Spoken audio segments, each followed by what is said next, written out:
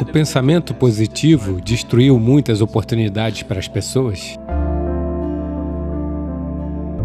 A mente abre o caminho, mas nunca te leva até lá. Você ainda precisa trilhar o caminho.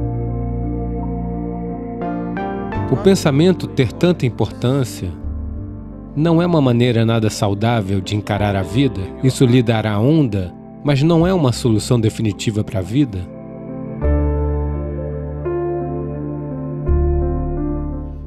O pensamento positivo destruiu muitas oportunidades para as pessoas.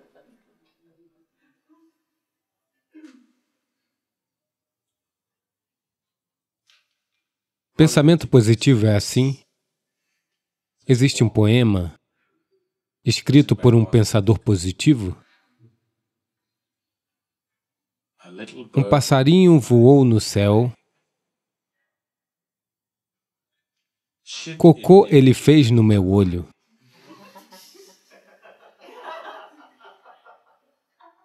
Mas não posso me preocupar nem chorar, porque tenho um pensamento positivo. Agradeço a Deus e rezo para que os búfalos não voem.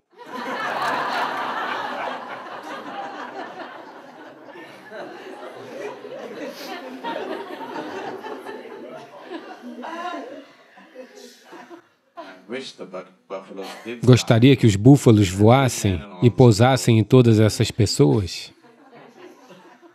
Porque se você não estiver disposto a simplesmente ver a vida como ela é, não tem como tomar nenhuma medida a respeito, não é mesmo?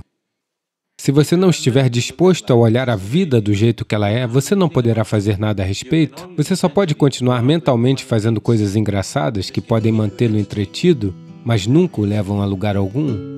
Se você está preocupado com a vida, é muito importante que sejamos verdadeiros sobre onde estamos de fato. Somente então podemos fazer a jornada. Se você simplesmente se iludir para acreditar que tudo está bem, tudo é maravilhoso, você deve entender isso. A mente só pode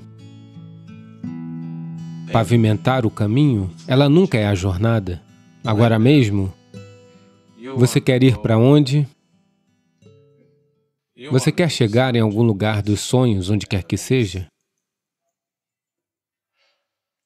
Se você... A única maneira que você pode ir é primeiro você pensa mentalmente, ah, eu quero ir para lá. Como chegar lá, avião, dinheiro, isso, aquilo, trabalhos. Portanto, a mente abre o caminho, mas nunca o leva até lá. Você ainda precisa percorrer o caminho, não é? Então, se você se sentar aqui e pensar em Deus, pensar no céu, pensar na espiritualidade, pensar em iluminação, tudo bem, isso abre o caminho. Mas não importa, mesmo que você tenha traçado uma super rodovia, até que você comece a jornada, você não chegará lá, não é mesmo?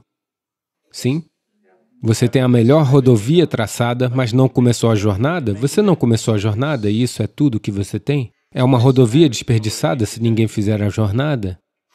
Portanto, você precisa entender que o que você faz mentalmente não é a realidade, é apenas a escolha da direção, mas você ainda precisa percorrer o caminho. Sadhguru, você disse uma vez que o pensamento positivo tem alguma relevância psicológica, mas nenhuma relevância existencial. Você poderia falar mais sobre isso? Veja, nessas culturas, definitivamente, você tem dado muita importância ao seu processo de pensamento, demais. Acho que os filósofos renascentistas diziam, eu penso, logo existo. Então, esse é o nível de importância que você atribuiu ao pensamento?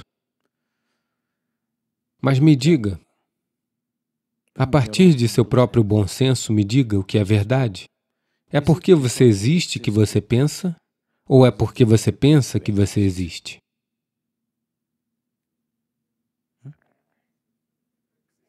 Porque você existe, você pensa, não é?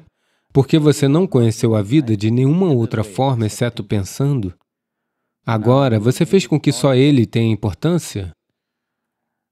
Agora, para mim não existe pensamento? Se eu simplesmente sentar aqui, ficarei sentado aqui sem um único pensamento na minha mente? Isso significa que não estou existindo? Estou existindo, com certeza estou existindo. Porque estou existindo de uma forma tão poderosa, o pensamento é apenas um pequeno acontecimento para mim. Meu pensamento, para mim, é apenas um pequeno acontecimento na minha vida.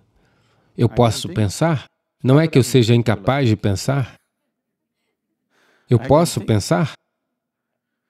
Mas ainda é um acontecimento muito pequeno, porque minha existência é muito, muito maior do que o meu pensamento.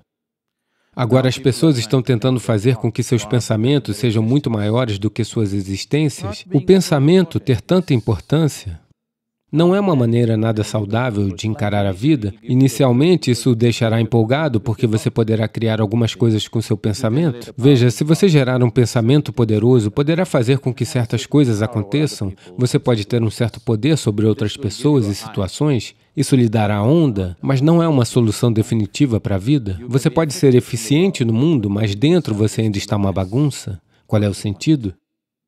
Você quer parecer bem aos olhos de dez pessoas, isso não mudará a sua experiência de vida?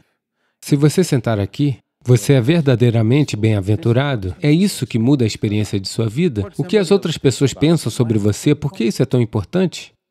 Ou o que você pensa sobre você mesmo, por que isso é tão importante? O que quer que você pense sobre você, o que quer que o mundo inteiro pense sobre você, não tem relevância existencial? O que quer que você esteja pensando agora mesmo não tem relevância existencial? É apenas relevância psicológica? Talvez relevância social, mas nenhuma relevância existencial? Então, quando falamos que é um processo espiritual, estamos falando sobre uma dimensão existencial, não uma dimensão psicológica, nem uma dimensão social?